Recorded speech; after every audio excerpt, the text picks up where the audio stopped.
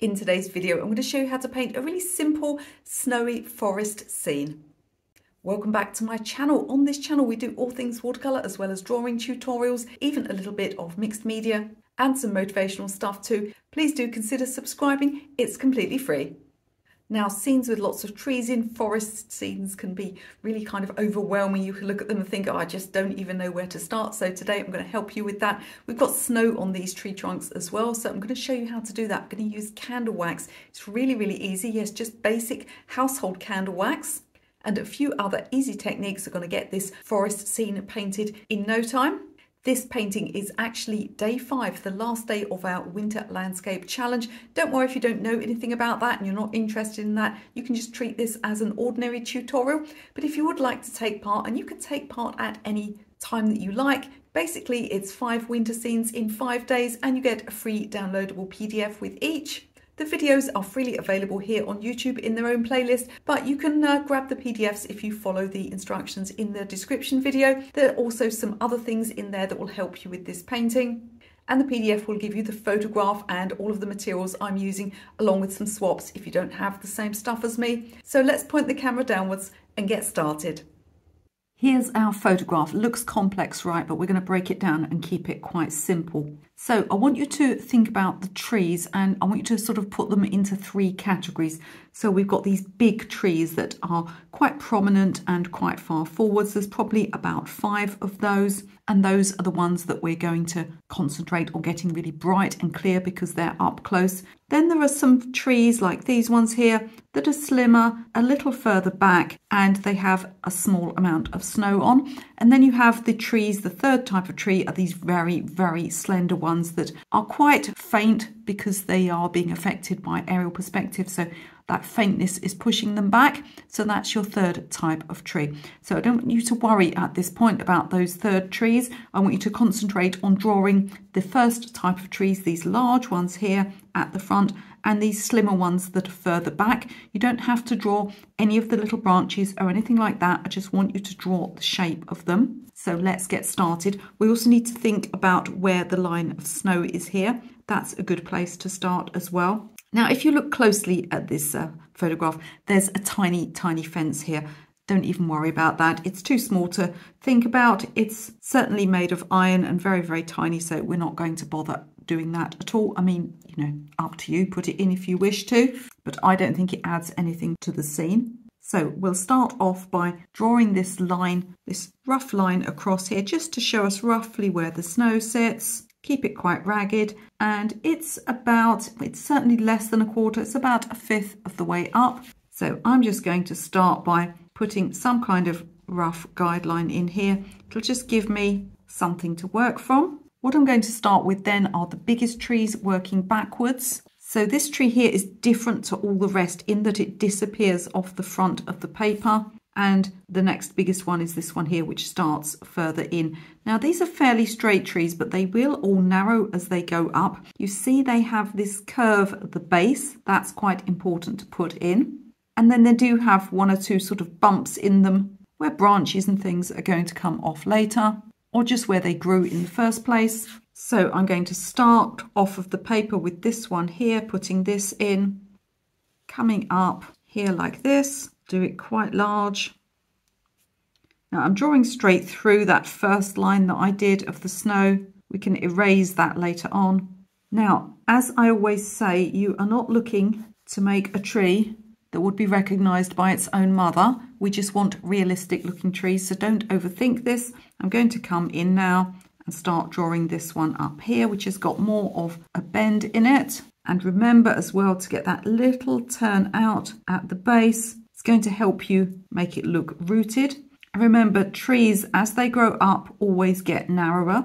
There may be a slight bump somewhere like this, where perhaps there was a branch attached before, but they don't generally go out wider and then in again, unless you're looking at the very, very stump where all of the big branches come out. So with these trees, I want you to make sure that they get very slightly narrower as they go up. I'm going to get on and draw in these main types of tree, the big trees and the medium-sized trees.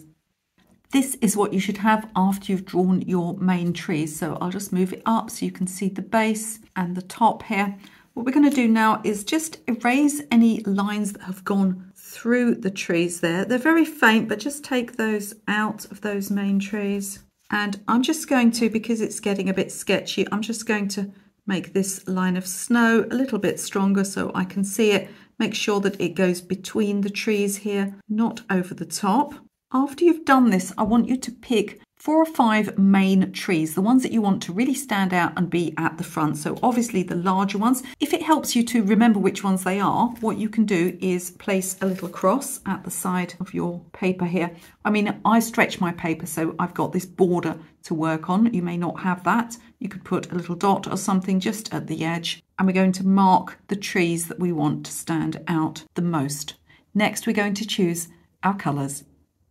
We're going to use just three colours for this painting. So I've got this colour here. It's actually a colour I designed myself. It's called Winter Bark. You can see it's a cold dark brown. Similar colours to this might include sepia or honestly you can get any warm brown and put something like some ultramarine in or some cobalt blue and it will cool it down and darken it. For my blue, because it's so versatile, I'm going to use a little bit of this phthalo blue and I can also mix it here if I want to create some cooler bluish grey shades. Lastly, another slightly unusual colour but one easy to mix yourself is this Winsor & Newton red shade orange. So this is a very sort of coral type colour.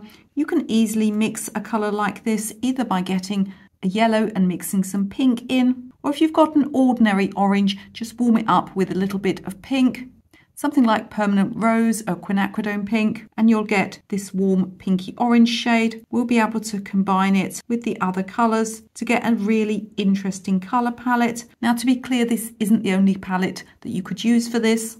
You could add yellow in if you wanted to. You could use a warm brown and perhaps a warmer blue to cool it down with. Any simple palette will work well with this painting. Just make sure that you've definitely got a brown and a blue.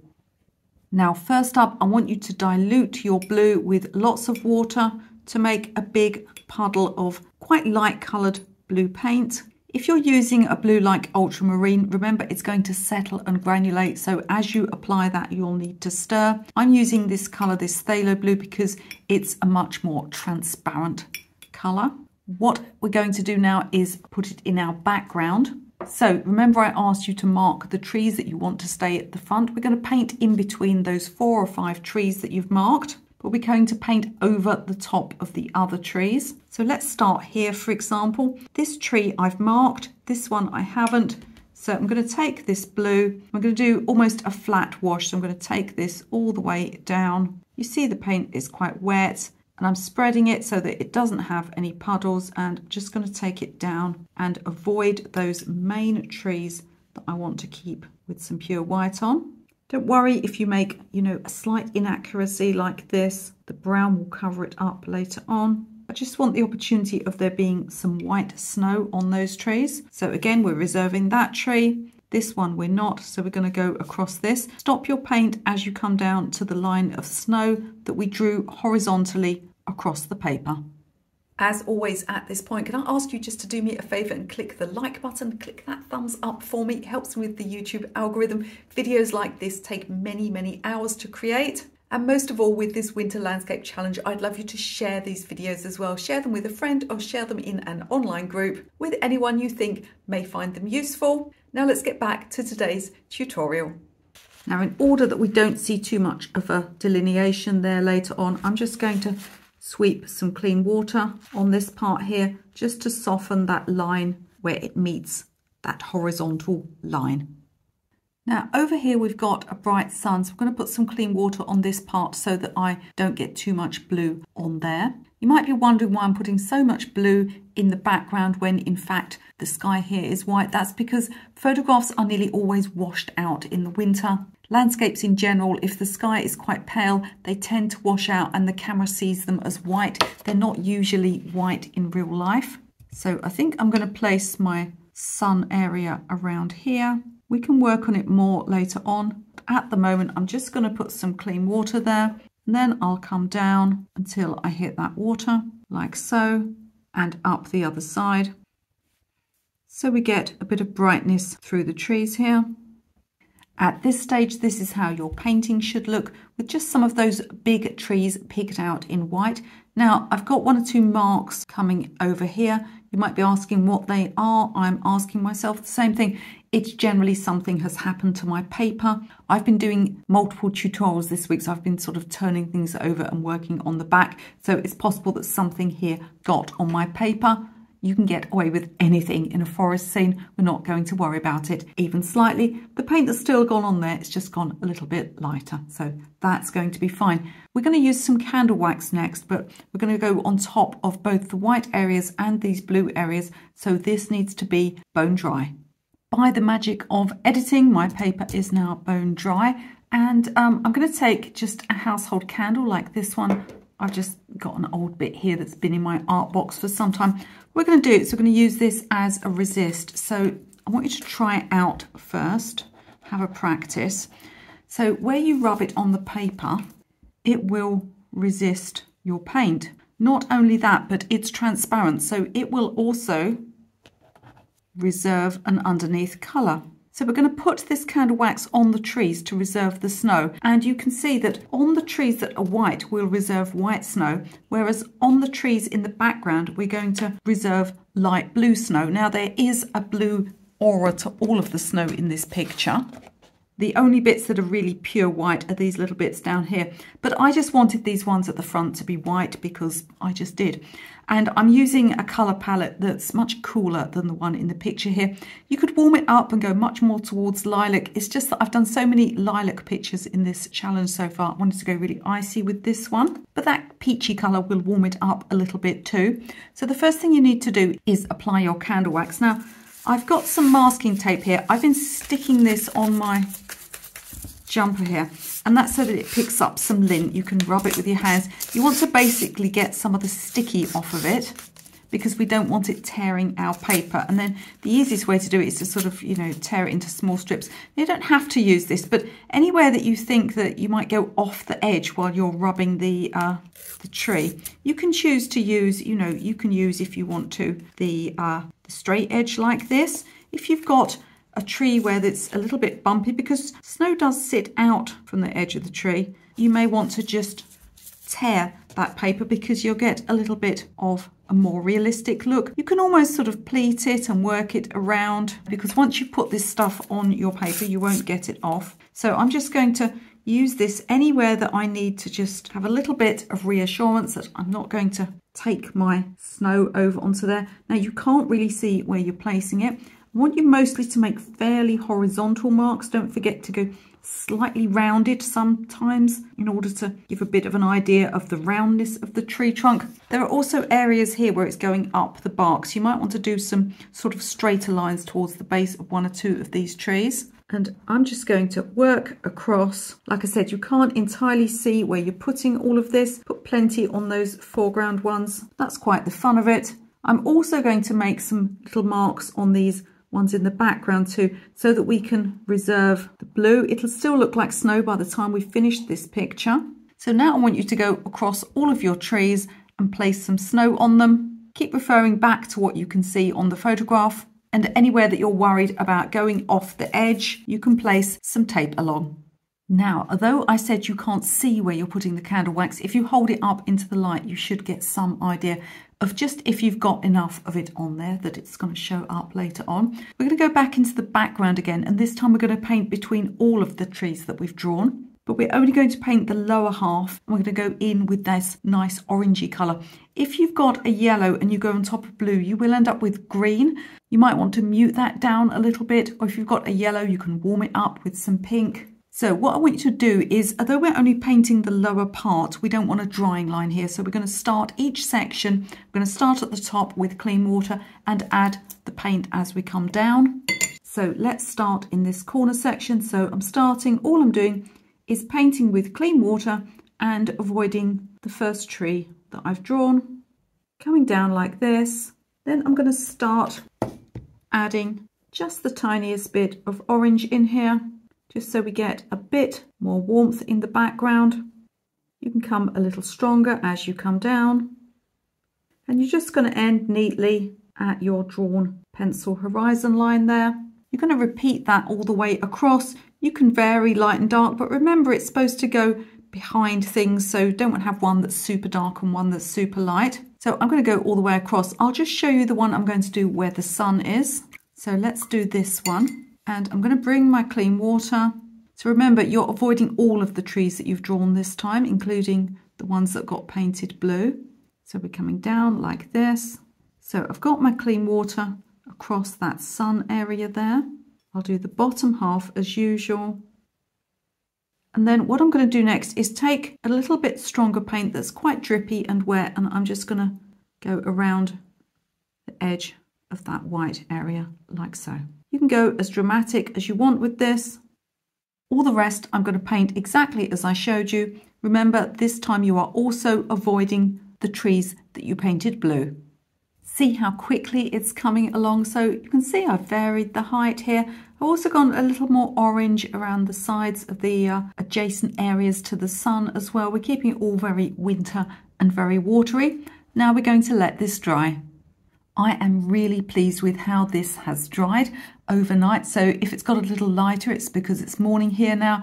In order to make the Winter Landscape Challenge even more effective, I decided to actually film it in the winter. It starts getting dark about 2.30 in the afternoon here and by four there's no light at all. But I am really pleased with this effect. Now we're going to finish this painting in just four simple stages.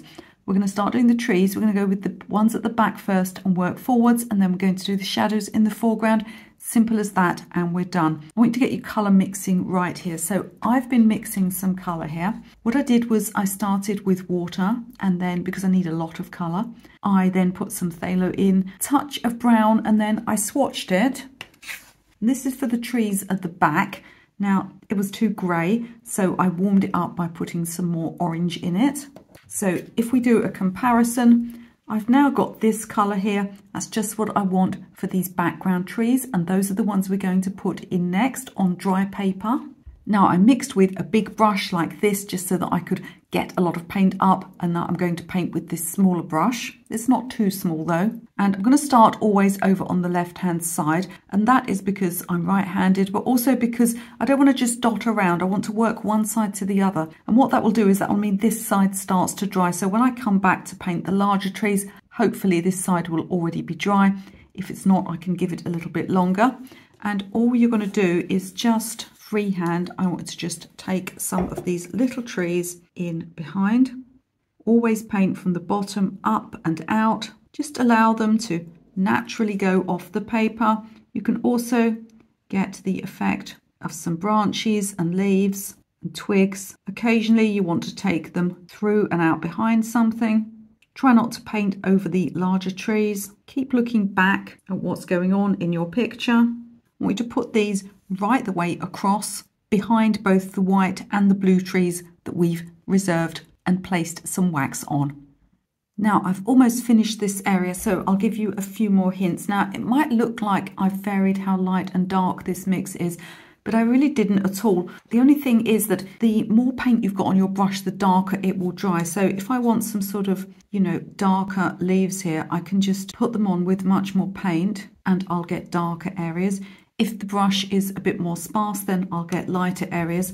As I came to this area where the sun is, I put some clean water here so that the uh, trees wouldn't go through that so we get that nice sort of glowing winter sun. Notice that in places I went below this line here just so that we get the impression that although they're at the back you know they're not all sitting on a straight edge so I brought one or two of them down below that line and I'm just working on this as much as I want don't be afraid to put quite a lot in. So you want your forest to look, you know, well populated, lots of twigs and leaves, but you also want enough of that winter sky showing through.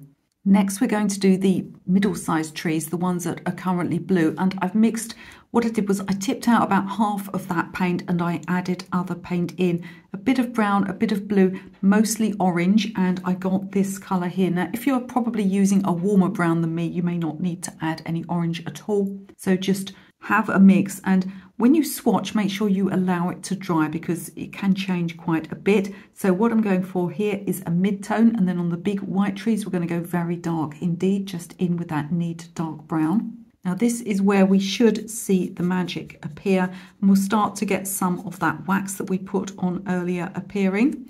So again, I'm going to start over here on the left hand side. Try not to have sort of a straight line at the base of your tree. You can put a little clean water on or you can just make sort of a bumpy shape because there would be snow in front of it. Now as I paint up, you can see where that wax has resisted and we get those shadowy, snowy areas start appearing. I'm going to work across with this colour, painting all of the blue trees.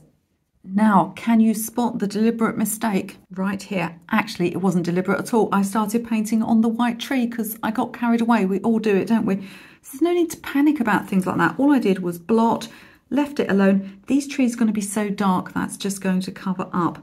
In fact, I sometimes block trees anyway just to get a bit of textured bark on them, which I might do on these dark trees if I feel they need it. If I don't, I won't do that.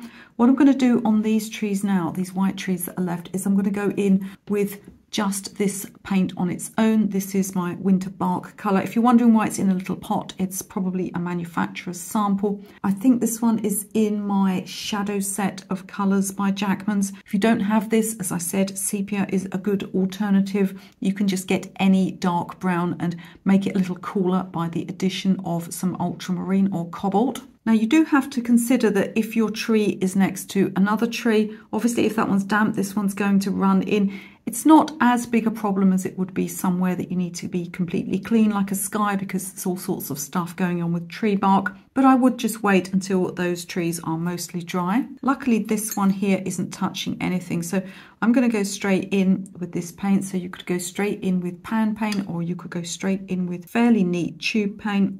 And we're just going to start at the bottom here and come up. And these were the ones that I put the most candle wax on and we can see it there starting to appear. All I'm going to do is just literally paint these trees with this dark brown colour. As I said, if they start to look, you know, if you haven't got much white showing up on them, they're just looking really flat and boring, you can just get some tissue and just, you know, give them a little bit of texture like that. But remember, they need to stay reasonably dark.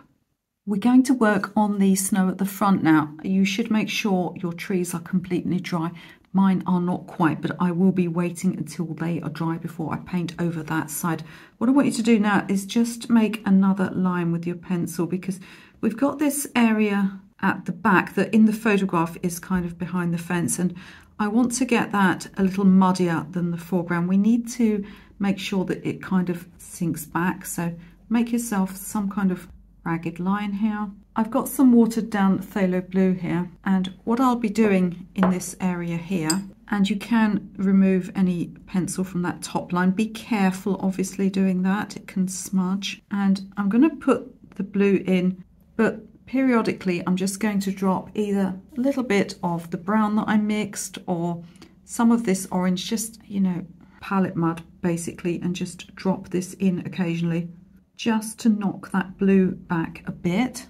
So you're going to paint across that back little area, but just muddy it up a tiny bit to knock it back.